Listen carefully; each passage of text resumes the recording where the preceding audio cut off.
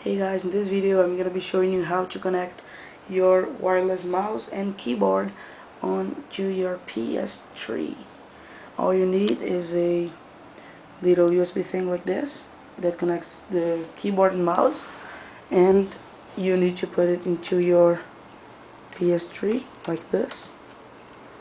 Alright, and in short time it will work. Okay, it's actually working so as you can see here's my mouse. And as you can hear it's working like this. So you can actually access the browser like this and press the normal left button on your mouse. And that's it. That's it google.com so you can press the normal button and type on your keyboard. Like this. Normally. And it will be working. And if you want to put a new website you can do just like this. You can press the function 4 button. Alright not working.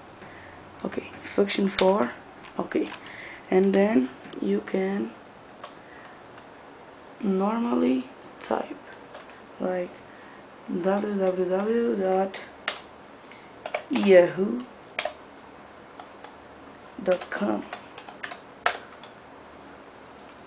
okay that's it. So it's pretty simple. All you need to do is connect and it's ready to go and to get out of the browser all you need to do is press the S button on your keyboard like this. Okay and switch with yes or no. You can put no in my case. And you can press the scroll button like this and access the main home button main home screen actually and with the right button on your mouse you open up this little tab that you have some options. So it's pretty much it. Okay let's get out of the browser. Okay and you can do a search with actually you can move your screen button your screen main screen uh, with the keyboard like this normally okay? But you can't play games. Actually I tried it. I tried it out. And here I have the Simpsons game but I can't. Actually it's not possible to play it.